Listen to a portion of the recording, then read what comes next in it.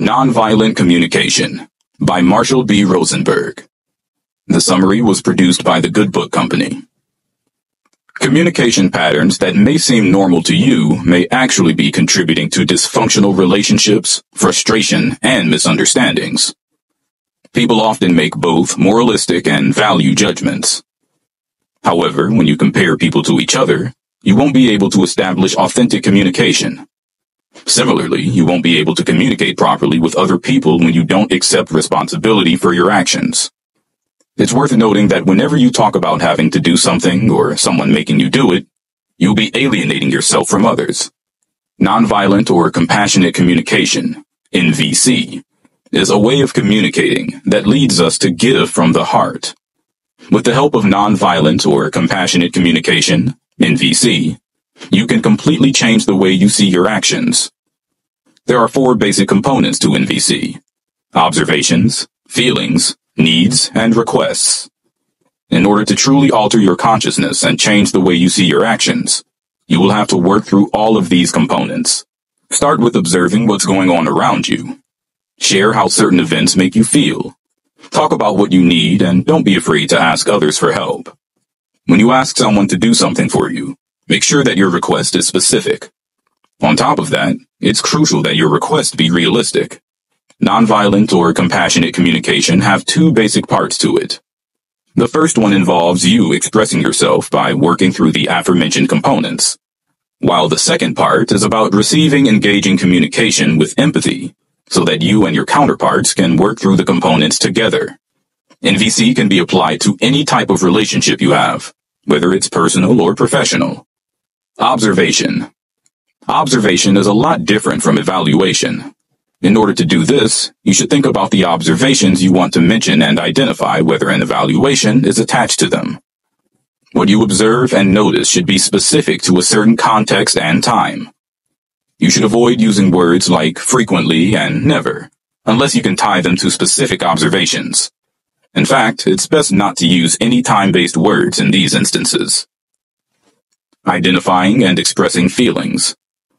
It's hard to develop the insight of knowing what you feel, since you'll have to do this completely on your own.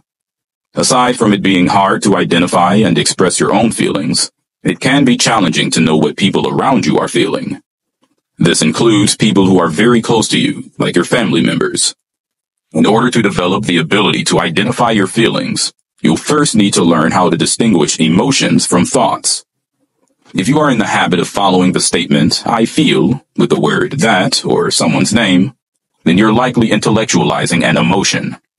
On the other hand, in case you can replace I feel with I think in a statement, you'll need to put in more effort to identify your emotions.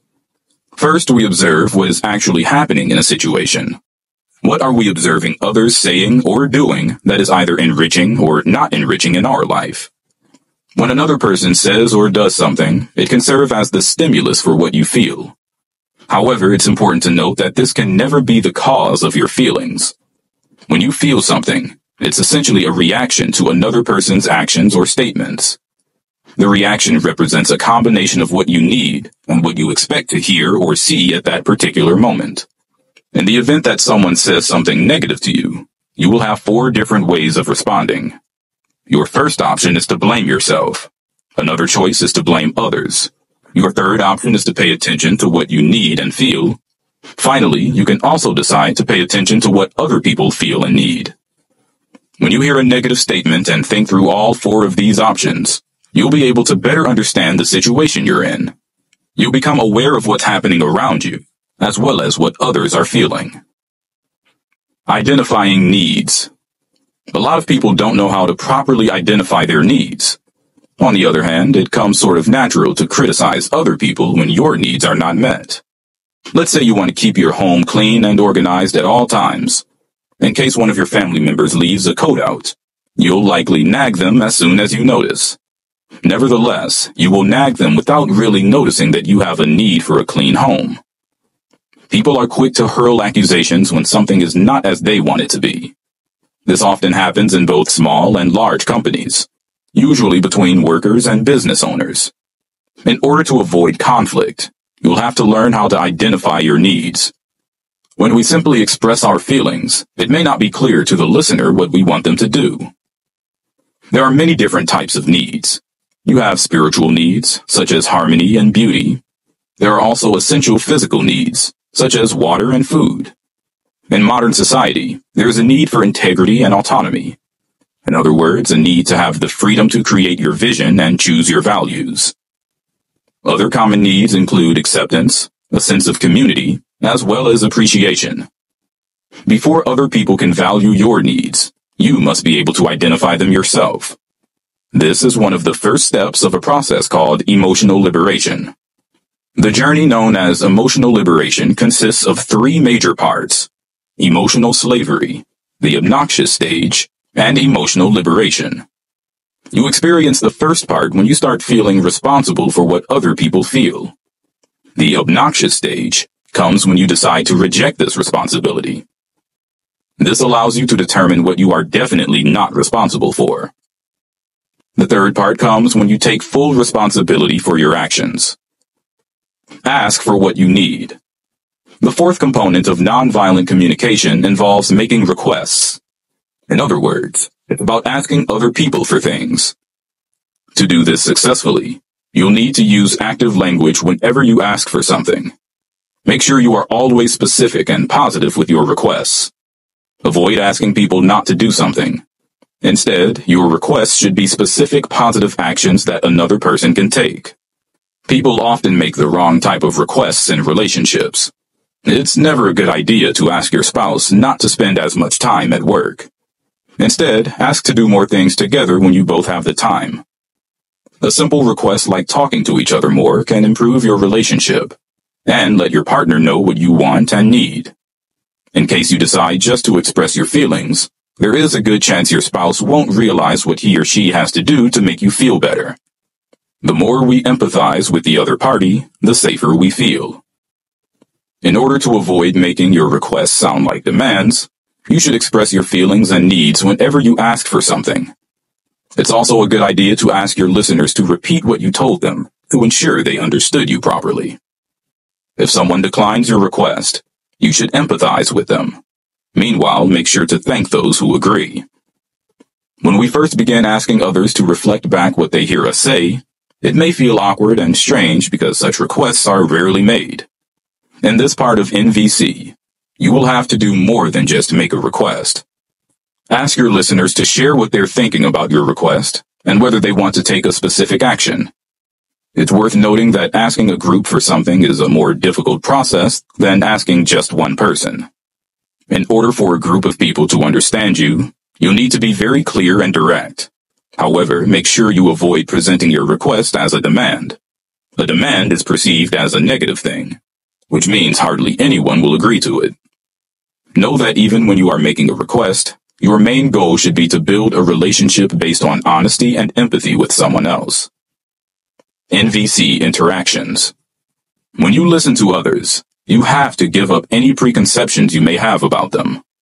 Avoid any communication patterns that make it harder to build empathy, such as advising, educating, consoling, and correcting people. Instead of trying to achieve intellectual understanding, you should pay attention to others' feelings and needs. People feel safer if we first reveal the feelings and needs within ourselves that are generating the question. It's a good practice to paraphrase what you think you have heard. In case you didn't hear the other person properly, he or she will correct you, and you'll avoid any further misunderstanding. In case you're right, the person you're talking to will confirm what you just paraphrased. If someone doesn't give you an answer, You'll need to figure out what feelings and needs lie behind the silence. Compassion for yourself. One of the main benefits of nonviolent communication is that it will help you develop compassion for yourself. Without having compassion for yourself, it will be nearly impossible to respond to others with sympathy. Thankfully, you can use NVC to grow as a person and avoid misunderstandings in communication. Our objective is a relationship based on honesty and empathy. Having compassion for yourself will help you prevent reinforcing self-hatred and disapproval. This skill can come in handy when you make a mistake, as it will help you avoid criticizing yourself and generating shame. Keep in mind that whenever you judge yourself, you'll think only about your unmet needs.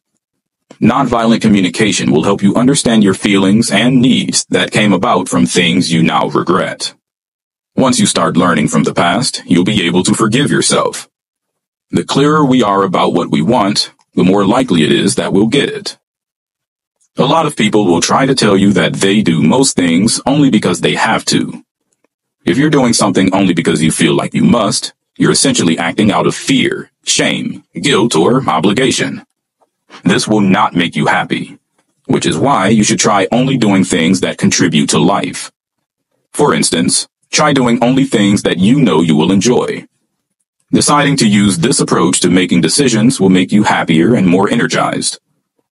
The next time you have to do something, try making a list of actions you need to do in order to accomplish it.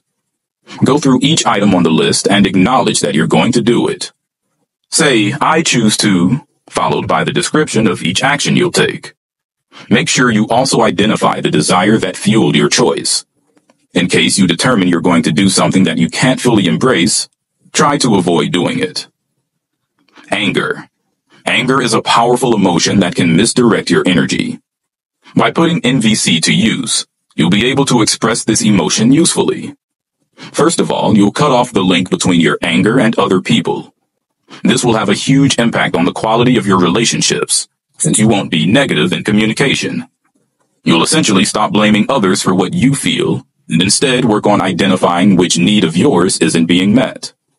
Making requests in clear, positive, concrete action language reveals what we really want. It's important to note that people can become angry, and even violent, when they believe other people are causing their pain.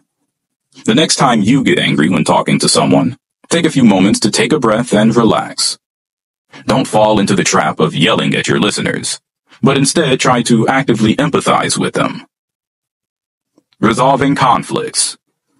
There is a way to resolve conflicts using nonviolent communication, and it differs from most of the other methods of handling disputes. Most methods rely on mediators, offering an outside opinion on the issues at hand and helping all parties reach an agreement. The NVC style of resolving disputes involves establishing a connection between the